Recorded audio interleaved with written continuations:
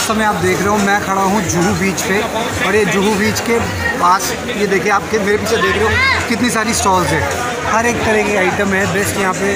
और आप देख रहे हो कि मिलेगा आपको यहाँ पे पाव भाजी है, काला खट्टा है उत्पम है आइसक्रीम है, गोलगप्पे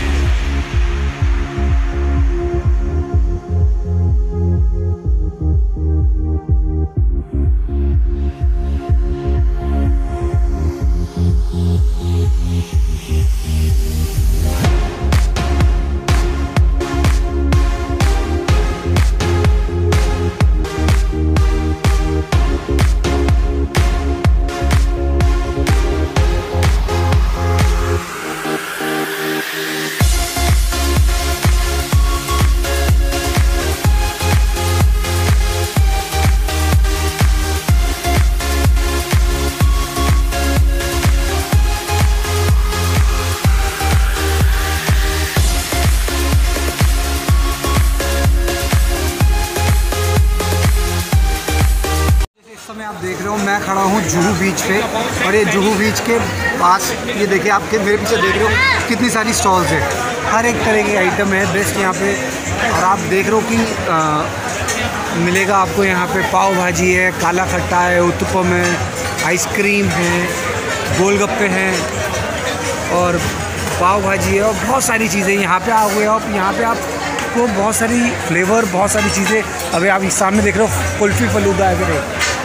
और बहुत सारे आइटम यहाँ पे आपको खाने को मिल सकता है। और आप यहाँ पे अगर आते हैं तो बेस्ट तो मुंबई आने के बाद अगर आपने पाव भाजी नहीं खाई तो कुछ नहीं खाया। तो चलते हैं, कुछ एक्सप्लोर करते हैं चेक करते हैं क्या क्या मिलेगा। अब हम ट्राई करने आए हैं पाव भाजी जैसे मैंने आपको बताया था। आप देख रहे हैं बटर डाल दिया है, और उससे हो रहा है। पाव भाजी ट्राई करते हैं, ये दिखाते पाव भाजी मेरे साथ यहाँ पे शॉप पे, यहाँ पे जो चलाते हैं, वो मेरे साथ है। आइए, तब तक यहाँ से क्या नाम है भैया? मेरा विपिन विपिन जी मेरे साथ है। विपिन जी आप बताओ कब से यहाँ पे आपकी जो दुकान है? दुकान तो बहुत पुरानी है सर लेकिन क्या मेरे को बीस साल हो गया यहाँ पे। इनको सिर्फ़ बीस साल हो चुके हैं। तो क्या स्पेशलिटी है आपकी इसकी पाव भाजी? पाव भाजी बहुत ही स्पेशल है। अमूल बटर यूज़ होता है। बटर में याद रखिएगा अमूल ही यूज़ होता है और कुछ नहीं होता। अमूल बटर यूज़ होता है और अमूल से होता है। चलिए आइए ट्राई करते हैं बाकी विपिन जी एक बार टाइमिंग बता दो कब खुलता है और कब तक खोल के रखते हैं। सुबह आठ बजे खुलता था और इलेवन थर्टी के चलो सुबह आठ बजे से लेकर रात के साढ़े ग्यारह बजे तक खुलता है और क्या रेट देते हैं आप? और वन ट्वेंटी का। एक सौ बीस रुपये का प्लेट है मात्र और कोई ऐसा दिन है जब छुट्टी करते हैं बंद होता है?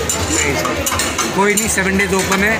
टाइमिंग सुबह आठ बजे से लेकर रात के साढ़े ग्यारह बजे।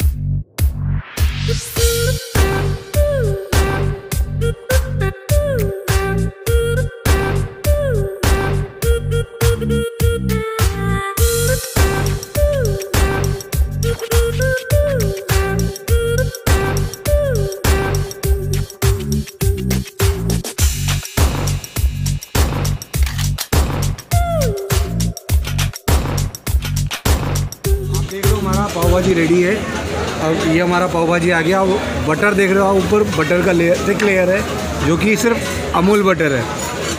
तो आइए ट्राई करते हैं अपना पाव भाजी